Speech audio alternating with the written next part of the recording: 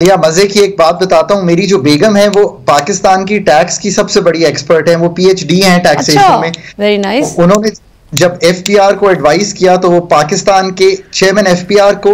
और पाकिस्तान के जो टीम थी एफपीआर की उसको टर्की लेके गई। और वहाँ पे उन्होंने उनको एक सिस्टम दिखाया जिसको हम कहते हैं ट्रैक एंड ट्रेस इसका मतलब यह है कि मलिया आपकी शुगर मिल से आपके सिगरेट फैक्ट्री से जो चीज़ भी निकल वो उसके ऊपर एक स्टैंप लगी हुई है कि ये ट्रैक हो सकती है और ट्रेस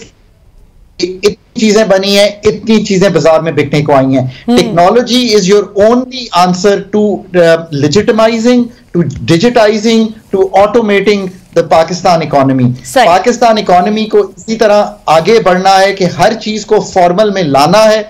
इसी तरह जो 18 फ़ीसद का टैक्स है मलिया ये भी आप सही कह रही हैं। ब्रॉड बेस्ड जीएसटी जो है वो पाकिस्तान में तभी नीचे आ सकता है कि हम इसकी प्रॉपर ब्रॉड बेसिंग कर सकें। अब आप जैसा इंसान की अगर ये बात समझ गया है तो इससे मुझे बड़ी उम्मीद है कि हम पाकिस्तान की इकोनॉमी को ठीक कर सकते हैं। अगर हम आज तहिया कर लें कि हमने ये सारे काम करने हैं one by one we have to now start doing these things और ये स्टोरी भी हमने लिखनी है। मैंने अभी एक आर्टिकल लिखा है उसका नाम ही है कि our story is ours to write आप जैसे लोगों से ये गुफ्तगु करके मुझे बड़ी खुशी हुई है कि अगर वो समझ रहे हैं हम नाजरीन को समझा रहे हैं हम प्रेशर क्रिएट करें अपने लोगों पर भी जो टैक्स नहीं देते हम प्रेशर क्रिएट करें अपनी अथॉरिटी पर कि वो ब्रॉड बेस करें टैक्सेशन के निज़ाम को फेयर करें इक्विटेबल करें